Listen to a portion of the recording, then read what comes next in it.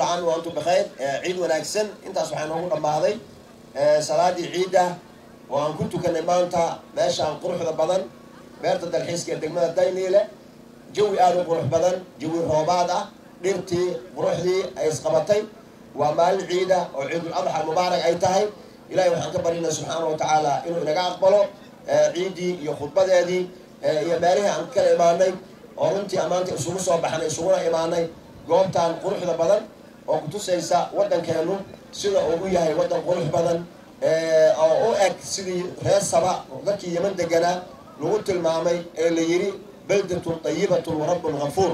Magaalo wanaagsan iyo rabbi dembi dhaaf badan ayaad haysataan waxaa la idinka rabo oo keli ay tahay inaad u shukrisaan oo tirahdaan alxamdulilah marka ilaah ayaan u shukrinaynaa ilaah ayaan u mahad celinaynaa ina soo gaarsiiya ciidan ciidul adxa mubaaraka sida khudbada aad ku maqlayseenna ciidaani waxaa loo yaqaanaa ciidulfidaa waxaana loogu bixiyey ciidulfidaa yacni waxayna baraysaa islaamnimada xaqiiqadeeda.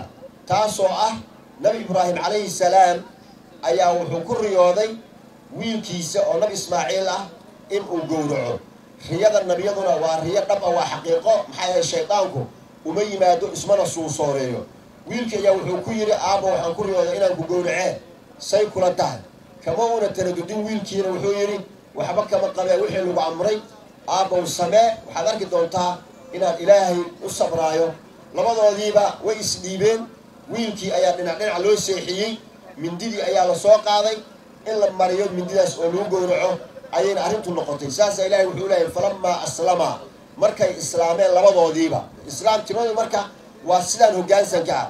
Ilma adigu aad dhashay oodan u oggolayn dhib inuu gaaro oo aadan u oggolayn war xun inuu xaggiisa kaaga imaado oo adiga lagu leeyahay gacantaadi ku biree arrin saalan ma aha. Waa imtixaan adag. Nabi ibraahim imtixaankaas laga qaaday wuu ku baasay sida ilaahayba qur'aanku uu ku yidhi waid ibtalaa ibraahiima rabbuhu bikalimaatin fa atamahunna wuu taam yeelay wuu ka soo baxay imtixaankaas.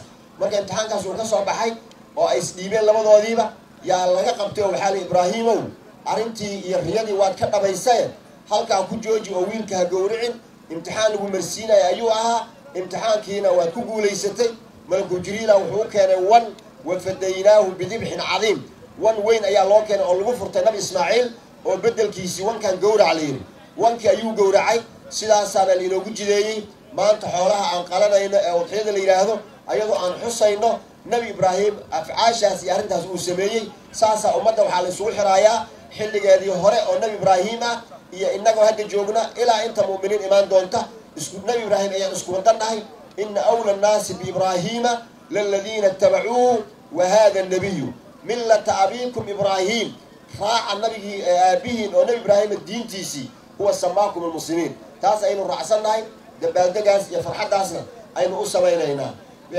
Maalinta ciidda ah diinteenna islaamku way ogoshahay farxadda iyo raynraynta iyo dabaaldega loo samaynayo ciidda oo ah yacni dadku inay muujiyaan dareenkooda iyo farxaddooda nabiga sala allahu calayh wasalam ayaa gurigiisa waxaa ugu yimid abubakr sidiiq nabiga waxaa la joogay gurigiisa joogay laba gabdhood oo durbaan gargaraacayay.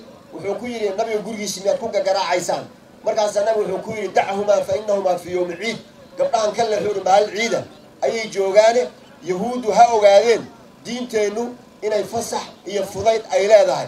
Marka sidaas waxaa laynoo tusaayaa dadka dareenkooda iyo caatifadooda iyo farxaddooda iyo madadaaladooda iyo raynrayntooda iyo ciidooda iyo munaasabadooda inay tahay diinteennu diin ay ogoshahay oo sidaas ah marka farxad iyo raynran ayay inoo tahay maanta inaan isugu soo baxno inaan ciiddii wada tukanno salaadii aynu ka bilowno kadibna udxiyadii iyo dadkii inay u fasaxmaan inay xoolahooda qashaan saddex maalmood oo soo socdana ciid weyntii lagu jiro. Marka waxaan leeyahay ciid wanaagsan kullu caamin wa antum bikhayr